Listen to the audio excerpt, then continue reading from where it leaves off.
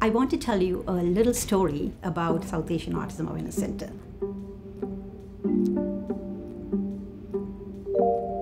We started with 8 to 10 students from my basement and living room, and I was teaching dance and some, you know, like basic English and math skills. And uh, it grew a little bit uh, over 10 to 12 students, and then we had to move to another location where one of my friends graciously offered his office space.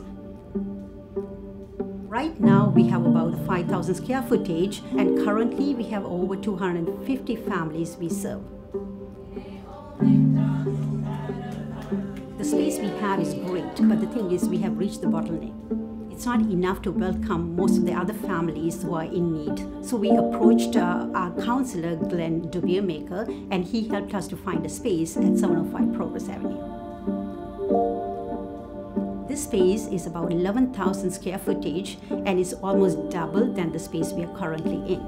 We are getting the support from the city, the councillors, and everyone, so, but we request the support from the community as well. I know the community has been supportive throughout the years, but we really have to come back again because if you want to provide more services and support to our families, please do help us to raise the funds to build this new state of the art center.